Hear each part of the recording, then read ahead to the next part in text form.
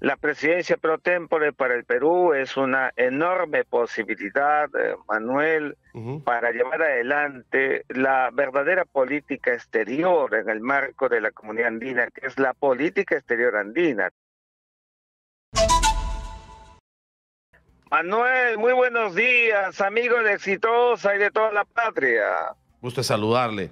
Eh, este, esta, este consejo presidencial se desarrolla desde el día de mañana. ¿Cuál es la finalidad exactamente? ¿Qué objetivo tiene? Manuel, muchas gracias. Fíjate, es hoy.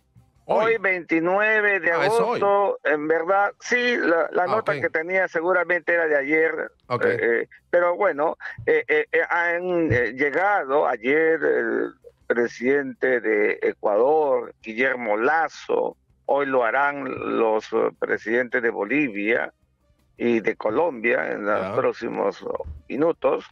Tendremos esta eh, vigésimo segunda edición de la, del traspaso de la presidencia pro tempore. Manuel, el Perú está eh, completamente agradecido con el gobierno de Ecuador, porque ha tenido el gesto de desprendimiento de que esta, este traspaso se realice aquí en Lima. Lo normal, lo que esperado era que el presidente Castillo viajara a Ecuador, pero ya sabemos todas la circunstancia nacional, tuvo el impedimento en su momento para poder salir eh, y en un gesto que, repito, el Perú agradece con los brazos abiertos Ecuador.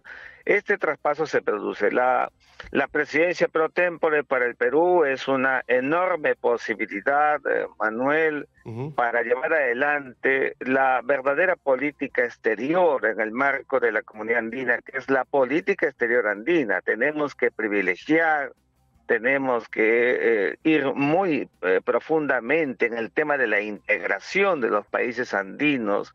Tenemos eh, los Andes que nos han atravesado históricamente, geográficamente, y las vinculaciones concretas, Manuel, en el marco de los países andinos está con el estatuto migratorio que se alcanzó el año pasado, pero que tenemos que aterrizarlo para que todos los ciudadanos que son cerca de 114 millones, eh, podamos comprender que eh, la integración es concreta, movilizaciones de uno y a otro lado de las fronteras, donde todos eh, ya no tienen que estar pasando todas esas tramitologías del pasado. Mm. Pero además, Emanuel, eh, eh, tenemos una vinculación eh, de más de 50 años con lo que era otrora el, acuerdo de Cartagena, el pacto andino, y esta visión innovada por parte del presidente Castillo de la patria andina, es decir,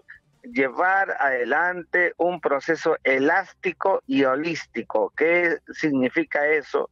Pues em, conseguir el fortalecimiento de la CAN en su extensión con la eh, participación, el retorno de Chile a la comunidad andina y por supuesto también el retorno en su momento de Venezuela y la incorporación de Argentina. ¿Te imaginas una comunidad andina ensanchada que verdaderamente privilegie eh, eh, a los Andes como el bastión geográfico que nos une a todos los pueblos y mirar a la comunidad andina, Manuel, como bloque que se proyecta hacia el mundo entero. Tenemos que mirar más a la Unión Europea, que es un ejemplo de integración, Ahora, como sabes, interesante, desde los tiempos del Benelux, desde los tiempos del Tratado de Roma y Maastricht. Canciller, suena realmente interesante, por supuesto, el asunto de que regrese Chile como país miembro de la CAN suena realmente interesante, que se pueda, por supuesto, insistir con el tema de Argentina, pero lo que no veo mucho es el tema de Venezuela. ¿Cómo se haría con Venezuela teniendo en cuenta que,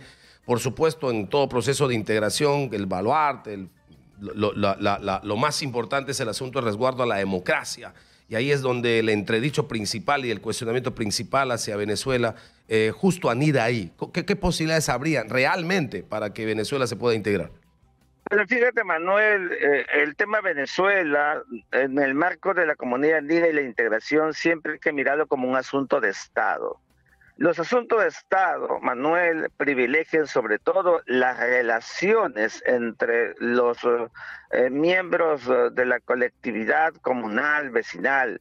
En Venezuela, como sabemos, eh, existe una situación que es conocida por todos y estamos trabajando para que desde los espacios exógenos a Venezuela contribuyamos a que se fortifique un proceso interno que coadyuve, que genere que lleve a ese estándar de democracia que corresponde a la región. estándar en la, este estándar al que todavía no este llegó Venezuela.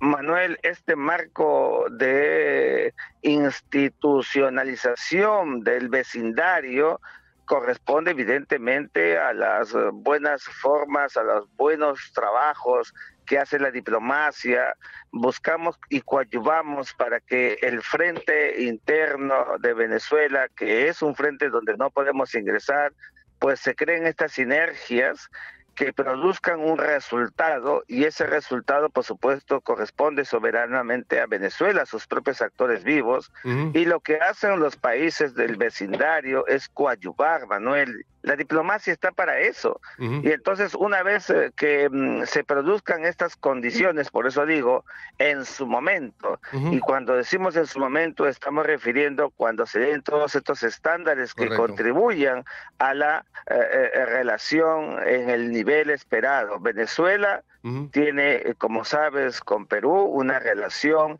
en el nivel diplomático normalizada. Tenemos un embajador en Caracas y ellos aquí. Entonces, lo mismo pasa. Pero digamos, eso no, eso, no quita, eh, señor canciller, sin embargo, que por supuesto se pueda coadyuvar en el proceso y que se pueda respetar la dinámica interna del Estado venezolano. Pero eso no quita que podamos seguir diciendo lo que realmente es. Venezuela es una dictadura y así, por supuesto, lo tomamos en Perú, ¿o no? Siempre hemos dicho, y la lectura de, que he tenido sobre Venezuela es con, ampliamente conocida, pero sin embargo tenemos que trabajar, Manuel, mirando hacia adelante y no hacia atrás, y generando todas las posibilidades que permitan en verdad un estándar donde eh, se haga realidad esto que estamos buscando y queriendo abramos los espacios, ventanas y puertas abiertas para generar una diplomacia de integración. Ese es el objetivo y por eso, con ese espíritu, Manuel, es que eh, eh, el Perú habla de la patria andina, que es una patria que no es la quimera ni la utopía de la política exterior, sino el realismo con el que tenemos que mirarnos, Manuel, repito, hacia la Unión Europea, hacia el Asia, hacia la cuenca del Pacífico. Mira, tenemos el privilegio de que este año tenemos dos presidencias por no solamente la de la comunidad andina que hoy recibimos, sino además la de la Alianza del Pacífico, que es otro de los espacios donde el Perú, en verdad, mm, dará paso a una política exterior que acabe con esa política exterior del pasado de brazos cruzados y emprendamos la política exterior andina, la política exterior que mira a la Alianza del Pacífico con sentido social profundo. Ese es el trabajo en el que estamos empeñados, Manuel. Correcto. Gracias, canciller. Ha sido usted muy gentil. Miguel Ángel Rodríguez Mackay, canciller, eh, ha estado con nosotros hablando sobre este importante evento que se va a desarrollar hoy, que es el vigésimo segundo Consejo Presidencial Andino en Lima, que trae a varios presidentes, por supuesto, y que seguramente buscará fortalecer la comunidad andina en el marco de la comunidad de Estados latinoamericanos y caribeños, y que además vuelve a ese seno Chile y hay un esfuerzo por anexar otros países.